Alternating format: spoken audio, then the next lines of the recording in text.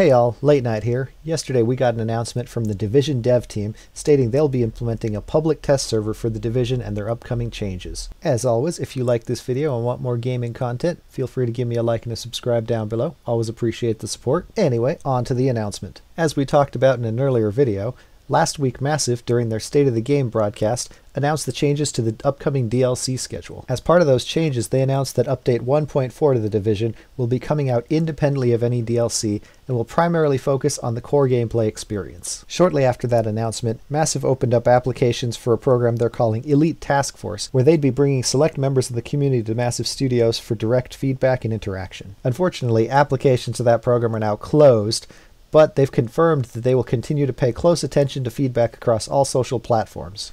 As the next step in this initiative to involve community interaction and get feedback, Massive made the announcement yesterday that they will be opening up a public test server on PC for the division in the near future. While consoles weren't mentioned, I'm pretty sure it'll be a PC only program just due to the logistics of running a public test environment. Beyond the initial announcement, there's really not too much information, but Massive has promised us additional details in the coming days. Personally, I think this is going to be a great opportunity for the community to take part in the development process, for the devs to really test out those new changes that they want to throw into the game. And finally, something that's really important to me for the devs to really hammer out those weapons and gear balance tweaks before putting them out in the wild. I'm thinking this is a really good first step in nailing down the game experience and getting the Division to be a really solid game that we all know it could be.